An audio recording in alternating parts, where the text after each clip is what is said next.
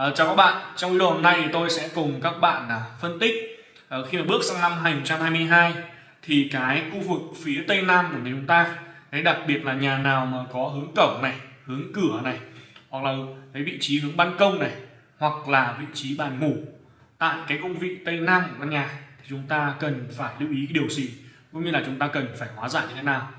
À, như các bạn đã biết ấy, thì mỗi một năm Ờ, cái sự dịch chuyển của chín ngôi sao trong tròn sao bắc đầu nó sẽ thay đổi về thứ tự khác nhau.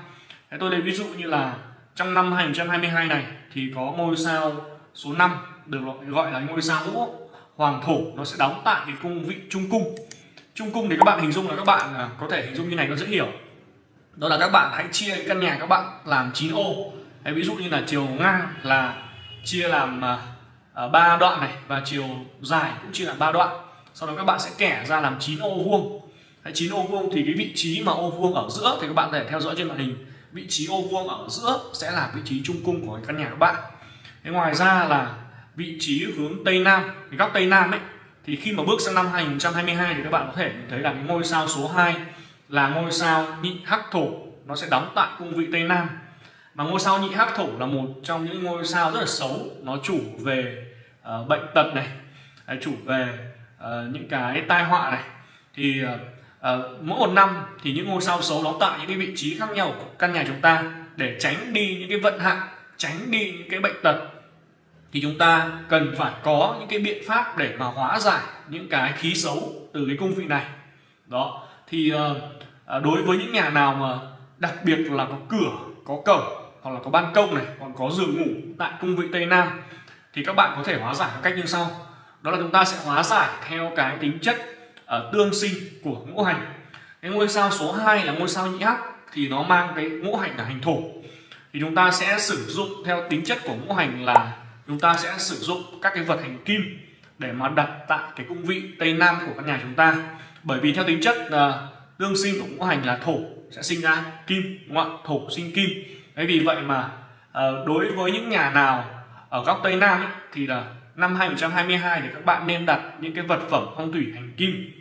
Hoặc là các bạn có thể đặt uh, cầu đá thạch anh này màu trắng đúng không ạ? Cầu đá thạch anh màu trắng này.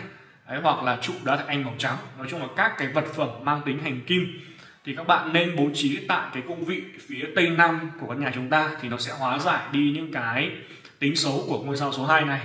Cũng có rất là nhiều người hỏi tôi rằng là ví dụ như là ngôi sao số 2 nó mang hình thổ thì em đặt một cái những cái vật phẩm phong thủy mang hành mộc thì có được hay không? Bởi vì các bạn cho rằng là mộc nó sẽ khắc chế cái hành thổ này. Thì uh, uh, thường thì không nên hóa giải cách như vậy. Tôi chia sẻ thật với các bạn. Bởi vì uh, khi mà chúng ta hóa giải theo tính chất mà xung khắc của ngũ hành ấy thì nó cũng sẽ không tốt. Bởi vì các bạn hình dung là khi mà hai cái trường khí đánh nhau ấy thì chắc chắn rằng là sẽ có bên nọ bên kia bị tổn hại đúng không ạ?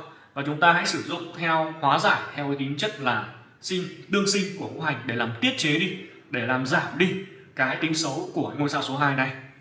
Đó. Và đặc biệt là các bạn lưu ý là đối với nhà ai ấy, mà cái vị trí giường ngủ ờ, ở góc tây nam mà nhất là có người cao tuổi chúng ta phải hết sức lưu ý vấn đề này. Chúng ta nên hóa giải sớm nên đặt quả cầu đá thạch anh màu trắng đấy, ngũ hành kim để mà hóa giải tiết chế đi.